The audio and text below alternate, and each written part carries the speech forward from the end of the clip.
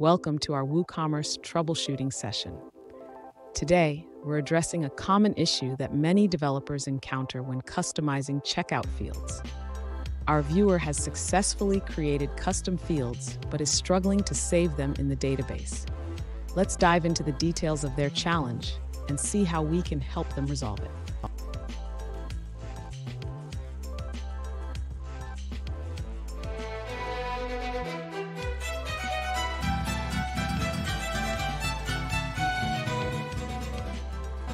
Welcome back to another tech video. Today we're going to be going through your question, answering it, and hopefully finding that solution for you. Guys, remember to stay a little bit crazy like me and find that resolution. Now, let's continue on. Let's start by reviewing the code you have for creating custom checkout fields in WooCommerce.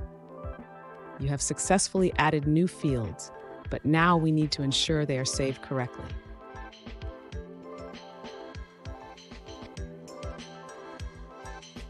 Next, we need to check the action that updates the order meta. You are using the WooCommerce Checkout Update Order Meta action, which is correct. However, let's ensure that the field names match what you're trying to save.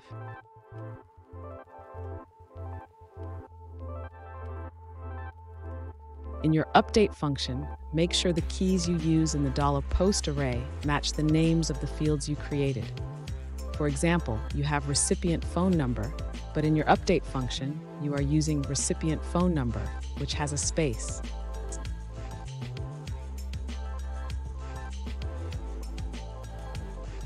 After making these changes, test the checkout process again.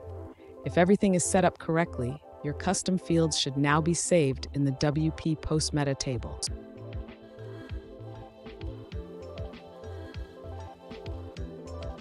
Finally, to display these custom fields in the WordPress dashboard under WooCommerce orders, you can use the WooCommerce admin order data after order details action.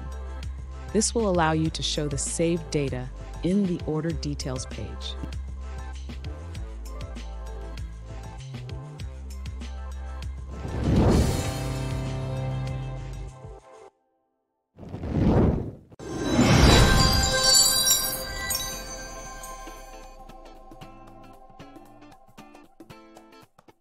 Let's now look at a user-suggested answer.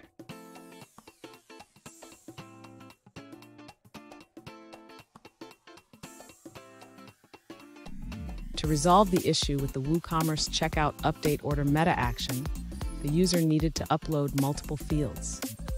They created an array of field names and used a loop to update the order meta.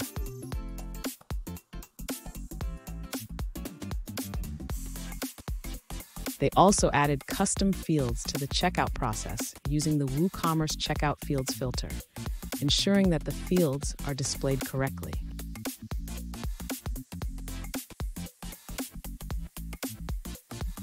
For displaying order details in the admin area, they use the WooCommerce admin order data after billing address action to show the CIF value.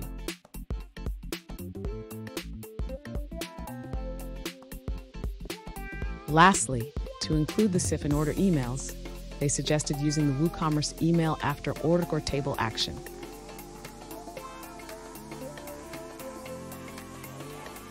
And that's it guys. I hope that video helped find the resolution you're looking for. If it did, please I'd appreciate it if you could hit subscribe. Until the next time you need more technical help, I hope you have a good one. Cheers.